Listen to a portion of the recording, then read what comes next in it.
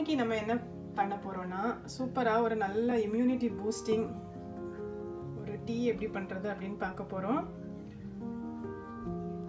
So அதுக்கு தேவையான எல்லா விஷயங்களும் எடுத்து வச்சிருக்கேன்.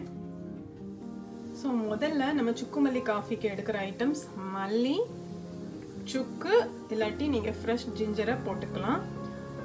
நல்ல மிளகு வந்து இதே அளவுக்கு எடுத்து வச்சுக்கோங்க. நான் நல்ல மிளகு பொடிச்சு வச்சிருக்கனால பொடி மிக்ஸ் பண்ண போகிறேன் அதுக்கப்புறம் ரொம்ப மருத்துவ குணங்கள் நிறைஞ்ச திப்பிலி அப்புறம் கிராம்பு நல்ல வாசனைக்கு ஏலக்காய் சூப்பர் டைஜஷனுக்கு பெருஞ்சீரகம் இவ்வளவும் எடுத்து மிக்சியில் போட்டு சூப்பராக அரைச்சிக்கலாம்.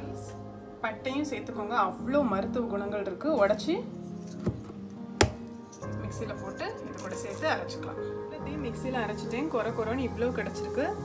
ஸோ அந்த நேரத்தில் நமக்கு தேவைன்னா ஃப்ரெஷ் ஜிஞ்சர் வேணால் ஆட் பண்ணிக்கலாம். இது நல்லா ஆறுனதும் ஒரு டப்பாவில் போட்டு வச்சுக்கிட்டோன்னா நம்ம கருப்பட்டி காப்பி கூட கலந்து குடிக்கலாம்.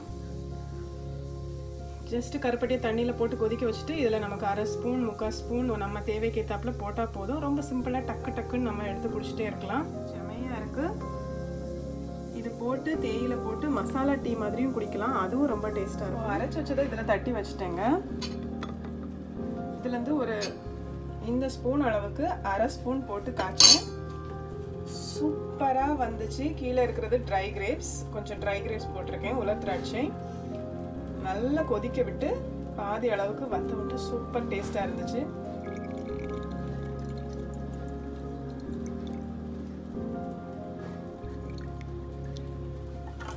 பெரியவங்கன்னா கொஞ்சம் அரிக்காமல் குடிச்சிடலாம். ஆனால் குழந்தைகளுக்கு கொடுக்கும்போது அரிக்காமல் கொடுக்க முடியாது. ஸோ அரைச்சி கொடுங்க. கருப்பட்டி அல்லது வெல்லம் சேர்த்து கொதிக்க விட்டிங்கன்னா நல்ல இனிப்பாக இருக்கும். குழந்தைங்க குடிப்பாங்க. எங்கள் வீட்டு குழந்தைங்கள ஓகே பண்ணிட்டேன். ஸோ